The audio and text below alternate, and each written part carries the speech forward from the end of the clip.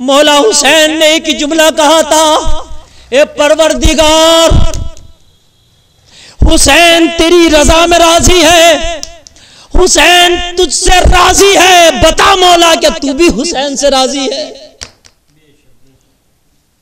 ए मौला, हुसैन ये सब कुर्बानियाँ तेरी रजा के लिए दे रहा है, तू हुसैन से राज़ी हो जा। हम जो काम कर रहे हैं कभी हमने अपने दिल से पूछा कि ये काम करके हमसे मौला राज़ी होगा? हुसैन इतनी बड़ी कुर्बानियाँ दे रहे हैं। कह रहे मौला तेरी रजा में हुसैन राज़ी है क्या तू भी हुसैन से राज़ी है? मौला तू हुसैन से राज़ी हो जा। हाय हाय हाय अब हुसैन के खेमे का लंबरदार चला गया।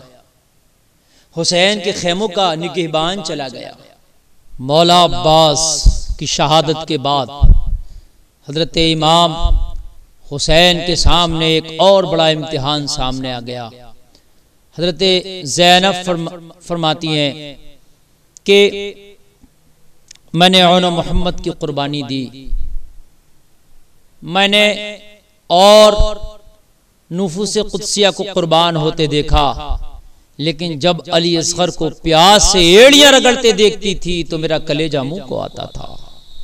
वो गम बयान करने से कासिर हूँ मैं कि जब अली असगर खुश्क जबान अपनी बाहर निकाल के अपनी फूफी को दिखाते तो कलेजा मुँह को आता था। हज़रत इमाम हुसैन की बारगाह में अर्ज़ करती हैं, भाई, अब अली असगर का रोना बिलकना नहीं देखा जाता, तड़पना नहीं देखा जाता। हुसैन, इन्हें उन भेड़ियों के पास ले जाओ। वो कितने भी शकील कल्ब क्यों ना हो, वो कितने भी सख्त क्यों ना हो। लेकिन भाई, इतना ज़रूर है कि वो भी बच्चे वाले होंगे, औलाद वाले तो वो भी होंगे। और बच्चों पर तो दुश्मनों को भी तरस आ जाता है। कितना भी सख्त दिल क्यों ना हो, कितना भी शकील कल्ब क्यों ना हो, बच्चों को तो उन पर भी तरस आ जाता है। अली असगर की हालत दिखाना। हो सकता है कि अली असगर की हालत देखें और अली असगर की हालत देखने के बाद उन्हें तरस आ जाए। अपने ही हाथों से अली असगर के हलक में चंद कतरे पानी के डाल दें। इमाम पाक अपने छह माह के बच्चे अली असगर को अपनी गोद में उठाए और गोद में उठाने के बाद यजीदियों के सामने जाके पेश कर दिया। इमाम पाक ने फरमाया, तुम्हारी दुश्मनी मुझसे होगी तुम्हें मुझसे कोई मामला दरपेश होगा, मुझसे आपको कोई तकलीफ़ होगी, लेकिन ये मेरा छह माह का बच्चा है। इससे किसी को क्या तकलीफ़ हो सकती है? इससे किसी को क्या परेशानी हो सकती है? ये प्यास से खेमा के अंदर एड़ियाँ रगड़ रहा है। इसका गला खुश्क हो गया है। इसके होठों पे खुश्की आ गई है। आप मुझे पानी का प्याला ना दो। अपने हाथ से ही चंद कतरे पानी के इसके हलक में डाल दो। अगर चंद कतरे पानी के इसके हलक में तुमने डाल दिए तो ये इस काबिल नहीं हो जाएगा पानी पीते ही के तलवार लेके तुम्हारे मुकाबले में लड़ने के लिए आ जाए जंग करने के लिए आ जाए। आखिरकार बच्चा है। अभी तो बोलना भी नहीं आता। अभी तो इसको चलना भी नहीं आता। अभी तो ये सही से बैठ भी नहीं पाता है। ये क्या तुमसे जंग करेगा? अपने हाथों से चंद कतरे पानी के इसके हलक में डाल दो इमाम पाक ने उनके सामने जाके अपनी ये मुख्तसर सी तकरीर की और अपनी बात रखी, लेकिन शकील थे।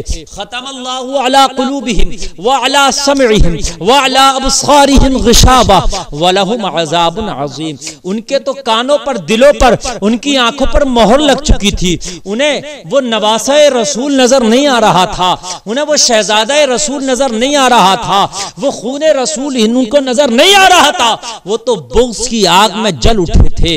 वो तो कीने की आग में जल उठे थे। इमाम पाक के हाथों में छह महीने का अली असगर है, जो अपने बाबा जान की आँखों में आँखें डाल के देख रहा क्या बाबा, यहाँ इन जालिमों के पास मुझे लाए हो? गोया के अली असगर सवाल कर रहा हो अपनी पथराई हुई आँखों से, अपने होठों से, खुश्क होठों से ये सवाल कर रहा हो? आँखों में आँखें डाल के हुसैन से गोया के ये कह रहा था, बाबा जान, मुझे इन तुम पत्थर दिलों के पास लाए हो, इन शकील कलूब के पास लाए हो कि जो इनके, इनको पता नहीं है कि ये हुसैन नबी का खून है। जानते हैं, मगर कीने की आग में ये चल उठे हैं।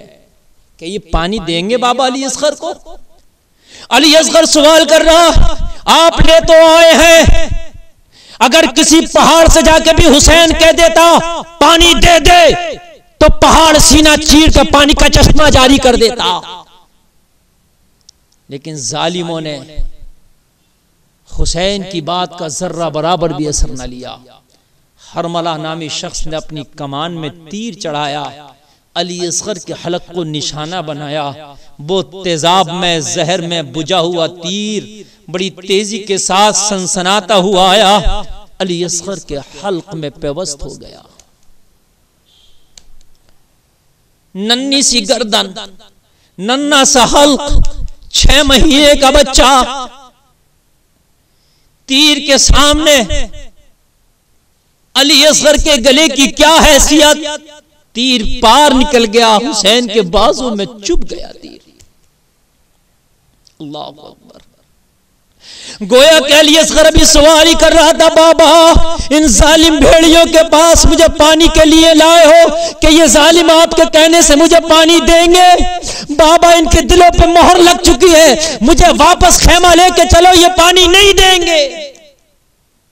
गोया के अपनी सूखी हुई जबान से सवाल कर रहा हो। अभी आँखों में आँखें डाले, आँखें खुली हैं कि हरमला का तीर आया। अली असगर के हल्क में पेवस्त हो गया। हुसैन ने तीर खींचा बेटे के गले से। खून की फवान फवान निकली। बहुत तेज़ी से खून निकला।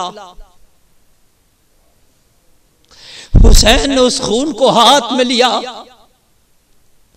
आसमान की तरफ़ उठा के कहा मोला ये हुसैन की नन्नी से कुर्बानी है इसे भी अपनी बारगाह में कबूल फरमा। मौला, अगर तू इस कुर्बानी से राज़ी है तो हुसैन भी तुझसे राज़ी है। मौला, अगर ये अली असगर की कुर्बानी तेरी बारगाह में कबूल है तो मैदान में में मेरी नाना की उम्मत का दाखिला जन्नत में कर देना। हुसैन की इन कुर्बानियों का सत्ता मेरी नाना की उम्मत को बख्श देना। हुसैन आज़म ने अब वो खून न ज़मीन पर फेंका ना आसमान की तरफ़। हुसैन ने अपनी दाढ़ी मुबारक से मल लिया।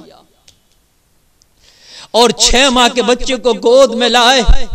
देखा गया था तो कुल बुलाता था, गया था तो हाथ पैर चलाता था, लेकिन जब हुसैन वापस खेमा ला रहे हैं तो ना हाथ चलाते हैं अली असगर, ना पैर चलाते हैं अली असगर। अली असगर खामोशी के साथ आ रहे हैं। हुसैन की चादर ऊपर से ढकी है। जैनब सोची है, शायद पानी मिल गया है अली असगर को। पी के खामोश हो गया है, शायद पी के सो गया हो। और जैनब ने पूछा, भैया, क्या पानी मिल गया? हुसैन आज़म ने चादर को उठाया, देखा, खून में नहाए हुई अली असगर की लाश हुसैन की गोद में है। कहा, बहन जैनब, ये कभी अब तुम्हें सूखी हुई जबान ना दिखाएगा, अब कभी एड़िया मार के ना दिखाएगा, अब कभी सूखे हुए होठ ना दिखाएगा। जालिमों ने पानी तो नहीं दिया, जालिमों ने ऐसा तीर मारा है कि अली असगर ने शहादत का जाम नोश कर लिया।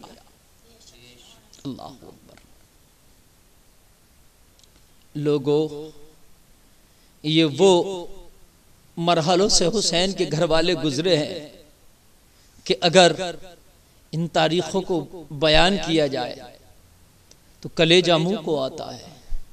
लेकिन उसके बावजूद भी सब्र है।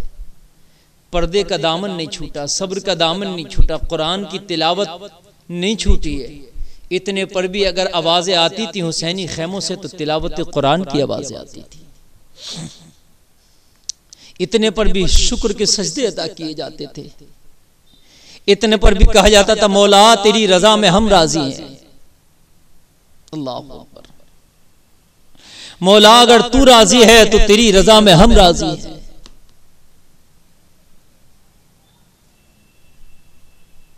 लोगों